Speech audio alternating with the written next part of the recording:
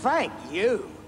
Oh, haggle, corn or spats all right, filling it down my soul. Or scampi, plates or skate, knacker or pie and show. Right, tell ya, Everything fresh and newly fried, hot to the fingertips.